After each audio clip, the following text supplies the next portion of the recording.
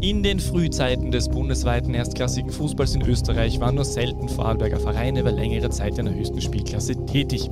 Da überlegte man sich im Sommer 1973 ein neues Konzept. Als Rezia Bludenz aufstieg, fusionierte man mit Schwarz-Weiß Bregenz.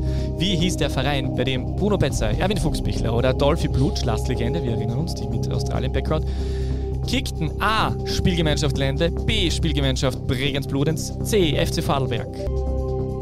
B. Spielgemeinschaft Bregenz-Bludenz? Ja. Nein, es ist tatsächlich der FC Vorarlberg gewesen.